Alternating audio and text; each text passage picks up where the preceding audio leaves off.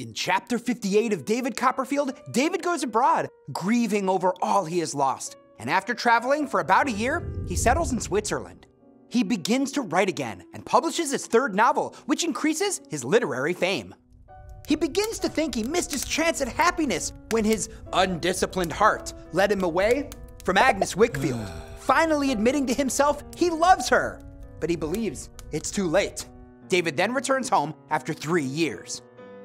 In chapter 59 of David Copperfield, David returns to London in autumn, wanting to surprise his friends and Miss Betsy, who are expecting him at Christmas. He visits Tommy Traddles and is surprised to find Traddles has finally married the parson's daughter, to whom he has been engaged for a long time. David is impressed by the warm family spirit surrounding Traddles. He returns to his hotel, where he spots Mr. Chillip, the doctor who helped bring him into the world. Mr. Chillip says Mr. Murdstone and his sister have nearly driven Mr. Murdstone's young wife mad with their cold, bullying ways. And also confesses it took a while for him to recover from the fright of Miss Betsy hitting him with her bonnet. The next day, David surprises his aunt and has a joyful reunion with Miss Betsy, Mr. Dick, and Peggotty, who's moved in as the housekeeper.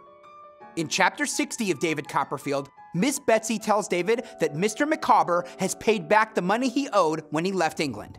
And Mr. Wickfield is in better mental and physical health.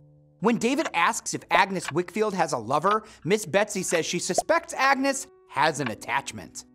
The next morning, David goes to see Agnes. He tries to ask her if she has anyone special in her life, but she changes the subject.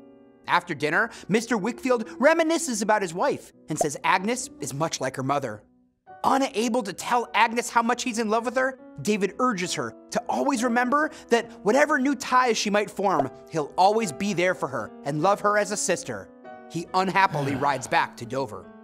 In chapter 61 of David Copperfield, David stays at his aunt's cottage while working on his next novel. David's novels have made him so famous that he gets a lot of mail from admirers. He receives a letter from Mr. Creakle, who's now a magistrate, offering to show him an example of prison reform hmm. that works. David and Traddles arrange for a tour of the prison, where the goal is for the prisoners to be completely and sincerely repentant of their evil ways.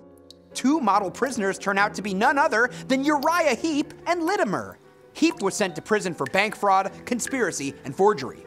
Littimer robbed a young man and was attempting to flee to America. Heep continues to note how humble he is, and Littimer claims he was led into wickedness through having lived a thoughtless life in the service of young men.